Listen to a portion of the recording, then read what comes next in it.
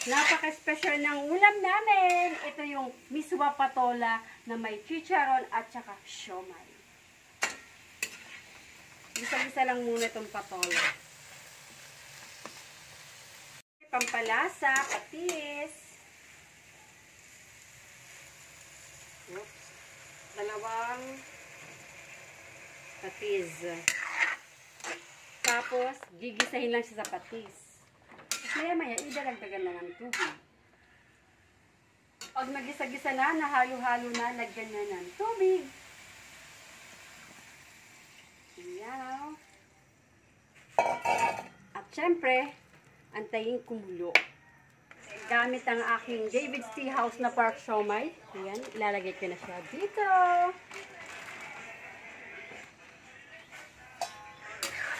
Mekos-mekos lang. Mekos-mekos. Alam nyo ba na ang huling nilalagay pag nagluluto ka ng miswa at patola ay yung miswa kasi naging ano sila, malambot.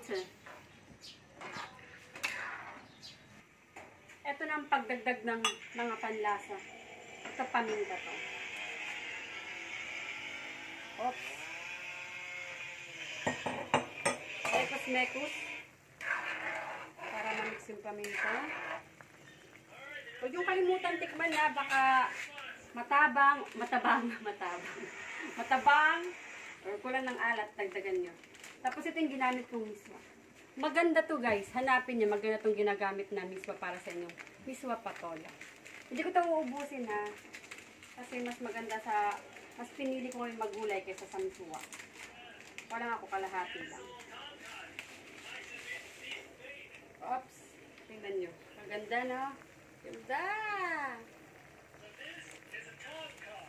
Nagdagan ko ng tatlong piraso ay apat na piraso.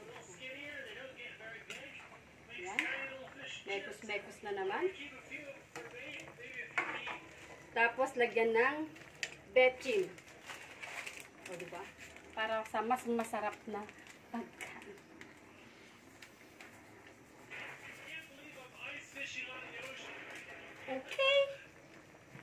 Mekos-mekos. Patayin. Maluluto na ng init ng gulay ng sabaw yung miswa kaya hindi mo na kailangan paapoyan yan. Next is my favorite part. Ang um, chikiman time.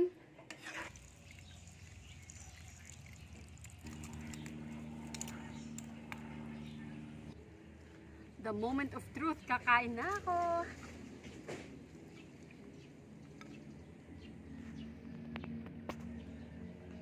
Yum, yum. Mas pinasarap pa kasi merong chicharon. Ayan o. Ang ganda ng brand ng miswa na binili ko. Hindi siya nalulusaw o. Dali.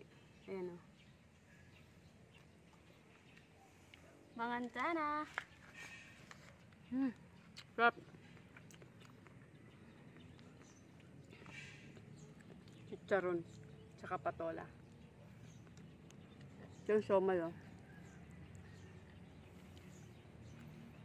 Mmm, crap.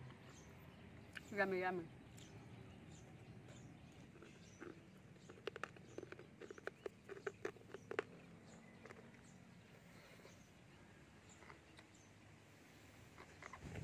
Tapos extra chicharon. May sasawan ka, yan, oh. Ginawa lang namin to, ito yung suka. Tapos nilagyan ng mga sili. Asin. Sarap.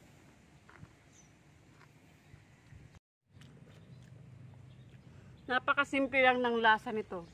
Yung parang lasang nagbukid ka talaga. Simpleng alat mula sa patis. Freshness ng gulay na flavor ng patola.